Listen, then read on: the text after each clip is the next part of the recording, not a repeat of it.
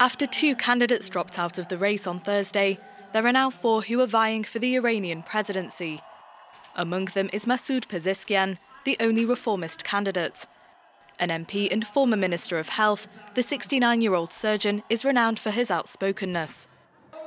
I promise to put an end to the unjust behaviour of the morality police towards our daughters, sisters, and mothers on the streets. Up against him is Mohammad Bagher Ghalibaf, a well known conservative. The former mayor of Tehran has served as parliament speaker for the past four years and has already thrown his hat in the ring for the presidency three times. We will not hesitate to demand the rights of our people.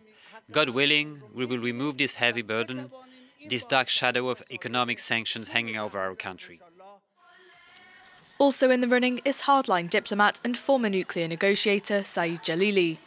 Known for his anti West stance, Jalili has voiced his concerns about former US President Donald Trump. Trump hasn't taken office yet. But our political rivals are asking if he wins, what are you going to do? They are scared, and they want others to be scared too. We're the ones who are going to fight him. The only cleric in the running is Mostafa Pourmohammadi, a former interior minister, aged 64. According to Human Rights Watch, he is among those responsible for the execution of hundreds of political prisoners in Iran in the late 1980s.